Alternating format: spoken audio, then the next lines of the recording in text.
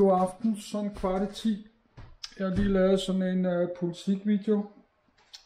Det blev, det er nok ikke så vellykket. Jeg står blandet saftevand. Og det er sådan en... Uh, det er Venstre kommet med sådan et boligspil og vil hjælpe uh, førstegangskøber til ejerbolig, så det er nemmere ved at komme. Det er selvfølgelig meget godt. Men der mangler også 10.000 vis af lejligheder lejeboliger. Så Venstre har haft uh, travlt med at gerne vil nedrive alle de der almindelige boliger og såkaldte ghettoer og sådan noget.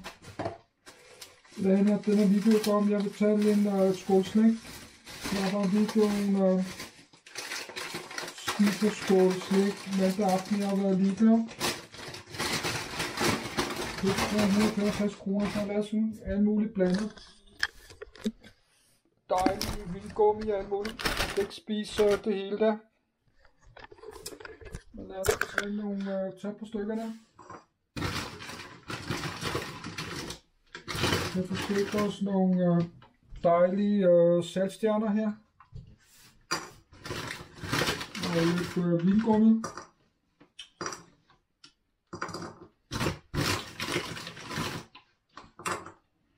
Jeg går lige og blande den. Så sådan et vingummi med øh, sådan en saltdæmp der.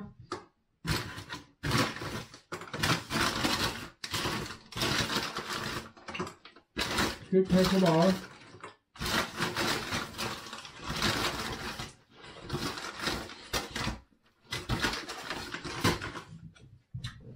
Den store nu. Den plejer jeg. op. Den klipper jeg over i to der.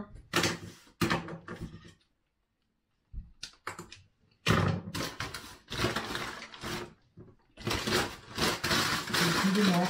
Det er bare sådan en lille øh, hygge.